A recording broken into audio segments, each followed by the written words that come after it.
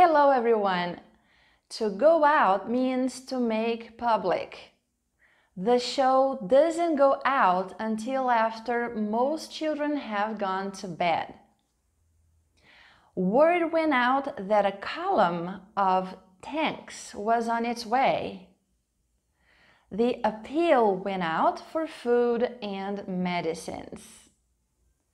Your product was starting to go out at that time. He didn't censor things that happened. He let it all go out. Now write a sentence using go out in the comment section below and improve your English.